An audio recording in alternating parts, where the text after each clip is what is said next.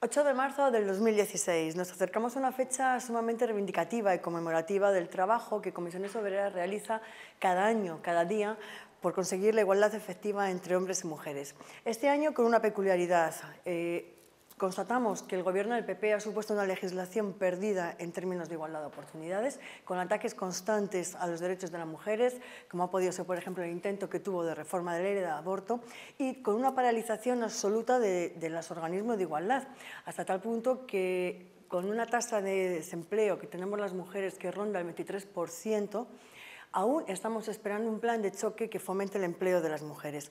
Siguen las brechas de género, sigue la brecha de más de 12 puntos en la actividad, que significa que hay dos millones de mujeres que están en la nada, que están en edad de trabajar pero que no están buscando empleo. Si mañana estas mujeres acceden al mercado laboral, empiezan a buscar empleo activamente, su tasa de desempleo, la tasa de desempleo de todas las mujeres ascendería al 35%. Una situación intolerable, una situación que nos lleva a la pobreza, a la feminización de la pobreza.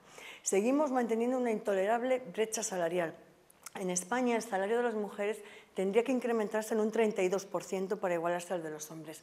Esto tiene una consecuencia a corto plazo y a largo. A corto plazo porque en una situación de crisis esta brecha salarial que tenemos las mujeres se traslada a los sistemas de protección social, al subsidio del desempleo. Y a largo plazo nuestras pensiones, en la feminización de la pobreza en la vejez, cuando más hace falta, bien, pues estaríamos hablando de una brecha en las pensiones del 40%. Seguimos con recortes en todo el estado de bienestar. Las mujeres siguen ocupándose principalmente de las tareas de cuidado y atención de las personas mayores y las criaturas. El año pasado el 97% de las excedencias eran tomadas por mujeres. ¿Dónde está la corresponsabilidad con una ley de igualdad que establece el permiso de paternidad que sigue por octavo año incumpliéndose?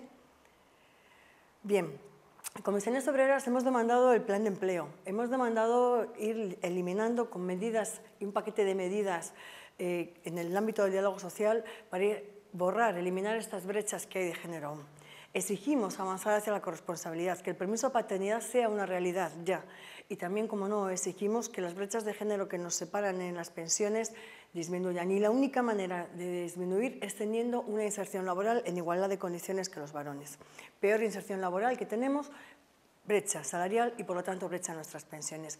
Comisiones Obreras hace un llamamiento a toda la ciudadanía para que el 8 de marzo acudan a los actos reivindicativos, que acudan a las plazas, a las calles, que se nos oiga el grito de stop a la violencia contra las mujeres, stop a la violencia estructural, stop al asesinato de mujeres. El año pasado 60 mujeres fueron asesinadas por culpa de la violencia machista. En lo que llamamos de año son 11 ya las mujeres asesinadas.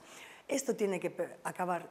Es necesario que la violencia machista sea considerada una cuestión de Estado. Nos queremos vivas y nos queremos felices y nos queremos dignas, vivir en dignidad. Y para eso también nos hace falta un empleo en dignidad. Feliz 8 de marzo.